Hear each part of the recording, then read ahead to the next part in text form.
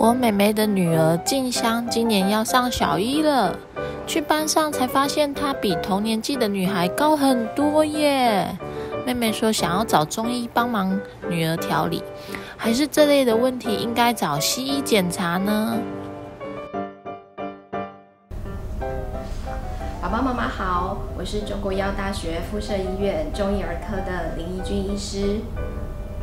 在我的门诊，爸爸妈妈常常会问说，什么是儿童性早熟？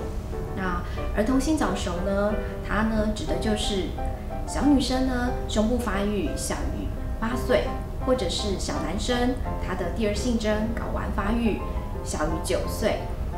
那如果说当你家里的小朋友小女生她的胸部发育小于八岁，那该怎么办呢？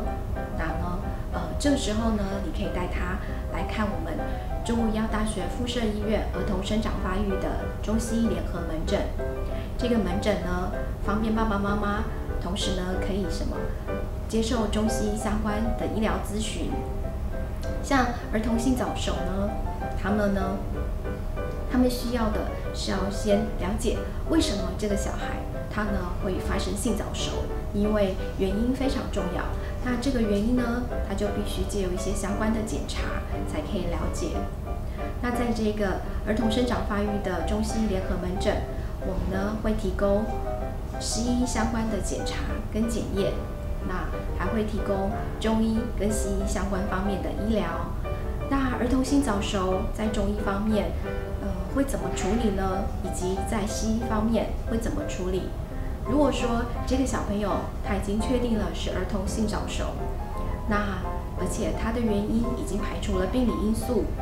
那在治疗的部分，在西医目前是有一些药物可以帮忙缓解这个青春期进展过快，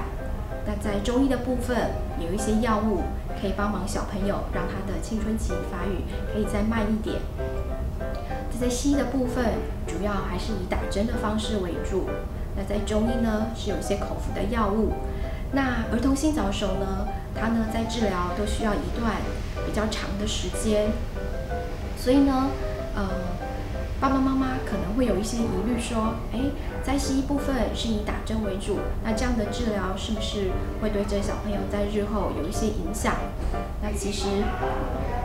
目前一些相关的研究指出，如果说，呃，他可以，他可以稳定的。来接受治疗，那其实对他的青春期缓解是有帮助的，而且目前的研究也没有发现有很多的一些副作用。那在中医的部分的话，我们呢会使用像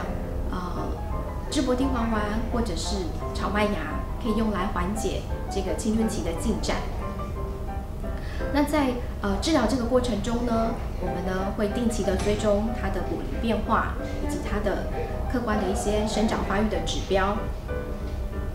那借由这个中西医的联合门诊，爸爸妈妈可以缩短就医的时间，因为你同时可以接受一些中医以及相关的西医的一些呃治疗的咨询，以及呃卫教的咨询。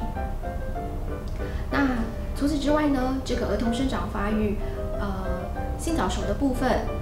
在日常生活中有什么可以去预防或者是该注意的事项呢？嗯，那呃，我会建议爸爸妈妈，我们可以定期的去追踪这个小朋友他的第二性征的发育，因为呢，如果你有提早发现，我们就可以提早的去处理。那小女生的话呢，诶，你可以在她六岁之后呢，就什么啊，要定期的看看她是不是有第二性征的发育，以及小男生也是一样。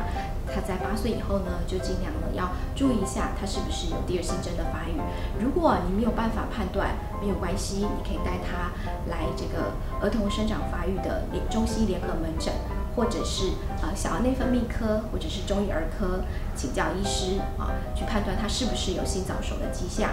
那在呃，平常呢，除了注意第二性征之外呢，还要注意小朋友的生长速度，因为呢，如果他生长的速度过快，他可能就是有这个性早熟的迹象。那另外呢，也要注意小朋友的体重。那饮食上面要注意些什么呢？呃，比如说呢，呃，像是什么高糖分、高油脂，好这一类的食物，都建议不要让小朋友摄取太多啊，因为呢，这些东西可能呢它就会什么增加小朋友的体重。那呢过重的小朋友他们就比较容易有早熟的迹象。那另外呢，我们呢尽量让小朋友少接触不明。就是呃不明来源的一些保健类食品，哈，或者是一些相关的一些，可能是会有一些塑化剂污染的食物啊，可能在肉品方面，我们就建议呢，呃，你可能要多元的摄取，不要让小朋友单单就只吃什么，很喜欢吃鸡排，那就是一直吃鸡排，哦，那我们可以让他多元的摄取蛋白质，然后呢，乳制品的话也是一样，呃，你可以摄取牛奶，哈，乳酪 cheese 也很好，但是呢，呃，我们尽量不要过量过量的使用。还有甜食方面，巧克力啊、蛋糕啊，这些都很好吃，小朋友都很喜欢。可是呢，我们还是尽量要控制它摄取的这个量。那平常呢，让它保持一定的什么运动量，那呢，让体重控制好。那这样子呢，它呢体重不至于过重，这样就可以降低这些早熟的风险。那如果说呢，哎，你在这个呃儿童生长发育的。性早熟这个部分呢，如果还有其他的问题的话，都可以到这个我们的相关的中西医联合门诊这个部分去做其他的咨询。